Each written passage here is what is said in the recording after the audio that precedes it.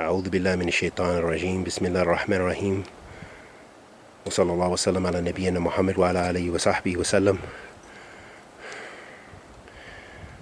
We ask Allah the Almighty to bless us with ikhlas, with about al sunnah, sunnah to Nabi sallallahu alayhi wa ala alihi wa sallam. And we ask Allah subhanahu wa ta'ala for His grace, mercy, and favor, and tawfiq, wa sadad. And may Allah subhanahu wa ta'ala protect us from the evil of ourselves and the evil of others. And may Allah subhanahu wa ta'ala bless us to be of those people who command the good and forbid the evil. But we have to practice it ourselves. Allah subhanahu wa ta'ala says, تأمرون الناس بالبر وتنسون أنفسكم وأنتم تتلون الكتاب أفلا تعقلون Do you command the people to the good? To, to, to piety? But you forget yourselves? While you read the book? Are you a person of, of intellect? أفلا تعقلون? Wallah understand. This ayat, when we reflect, if our hearts don't become hard or like iron to where nothing penetrates it, then we'll know that Allah subhanahu wa ta'ala is directly addressing us. Commanding the good, but forgetting yourselves. A sign of hypocrisy, billah.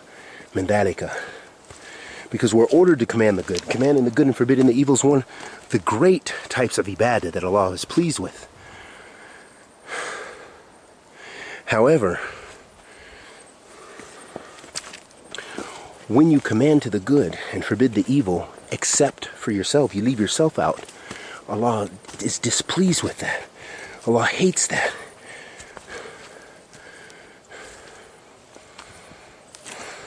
Allah subhanahu wa ta'ala says,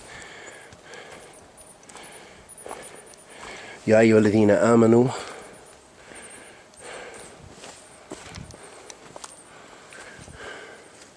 Allah addresses the believers and says, O you who believe,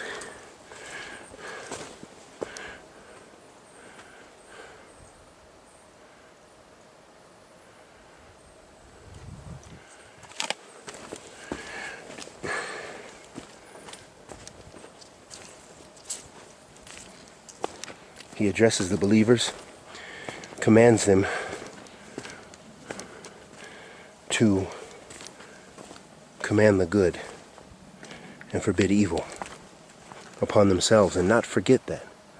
And may Allah protect us from that.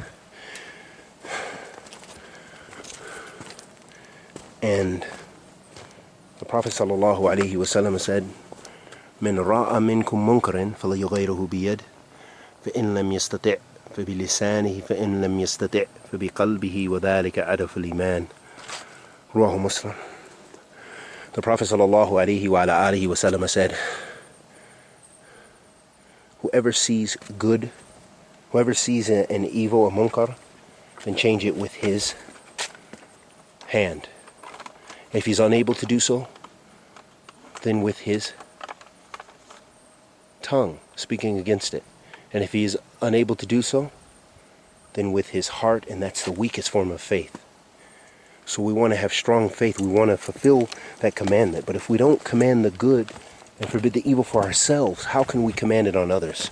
How much success are we going to have with others? And what kind of example are we going to set?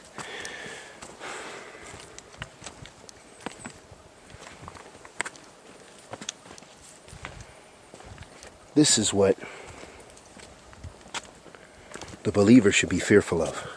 Is not practice is, is, is not doing the commandments of Allah subhanahu wa ta'ala, not fulfilling it, and then calling people to good. Doesn't mean you should leave off calling to good. Even if you, you have shortcomings, even if you're committing sin, still try to call people to good.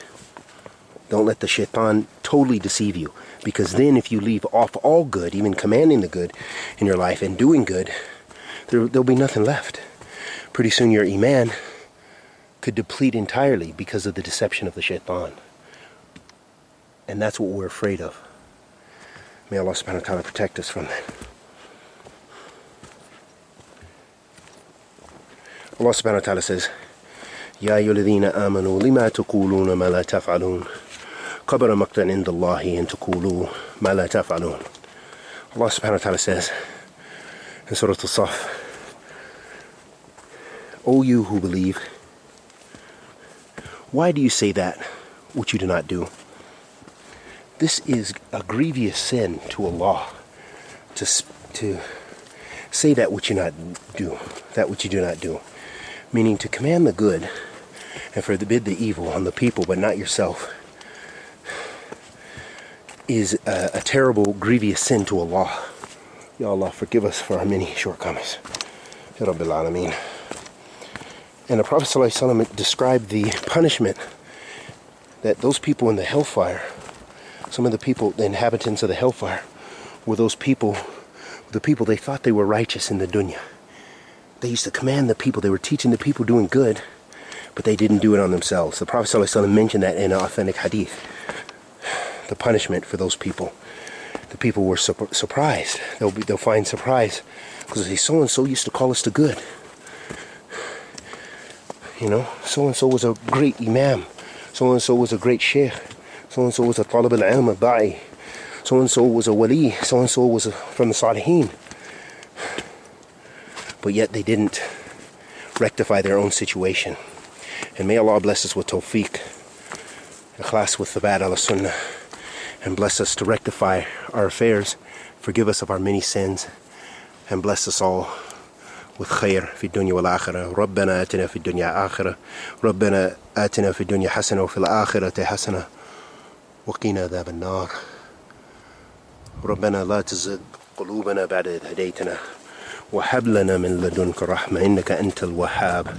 وصلى الله وسلم على نبينا محمد وعلى آله وصحبه وسلم.